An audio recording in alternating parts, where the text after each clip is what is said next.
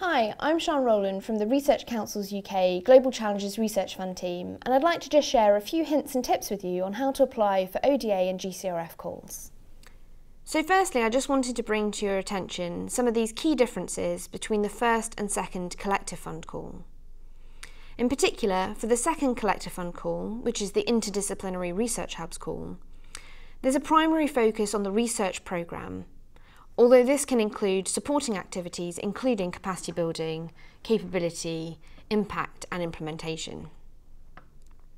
There's also a requirement to consider a broader or more complex challenge and think very carefully about how the interactions with other development challenges may affect your ability to deliver impact.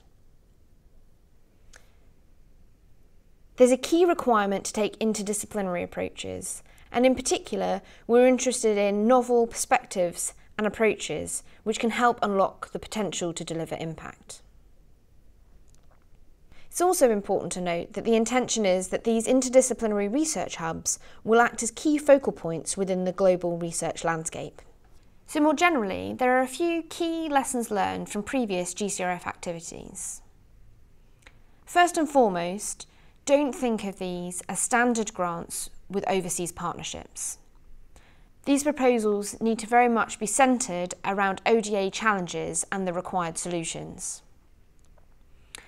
Applicants also need to demonstrate that they have a clear understanding of the broader context in which the challenge they've identified sits. In-country partners, and indeed all partners, need to be appropriate to the proposal, involved in the scoping and delivery of the research, and really add value to the proposed work. Particularly for large-scale and complex programmes, it's important to support adaptability and resilience, and this may be achieved by focusing on key competencies and expertise rather than specific work streams or staff members. It's also important to be really clear and realistic about the potential for impact. Firstly, all impacts need to be directly associated with your particular programme or grant. And also it's important to think about the benefits not only within the lifetime of the grant, but also beyond it. Another key recommendation we have is to learn from others. There have been a number of different GCRF awards and other ODA activities over the last few years, and so there will be people near you who have experience of developing bids, going through the assessment process and implementing the research. In terms of ODA compliance, GCRF is based on the broad OECD definition of ODA. And when we're looking at assessing the compliance of your grant, these are the three key questions that we are looking at. Firstly, which country or countries on the DAC list your proposal is relevant to? Secondly, have you demonstrated that the proposal is directly and primarily relevant to the development challenges of these specific countries? And also whether your proposed activities will promote the economic development and welfare of the countries identified.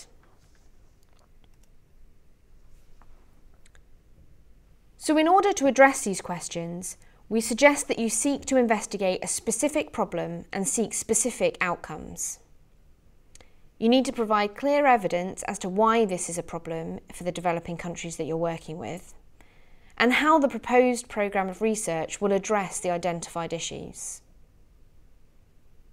It's keen to think about the strengths of the UK and how these can be used in collaboration with others to deliver.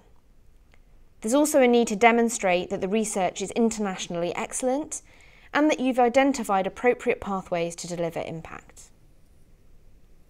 Thank you for watching this video. If you'd like some more information about GCRF, please check out the other videos or look at our website for more information.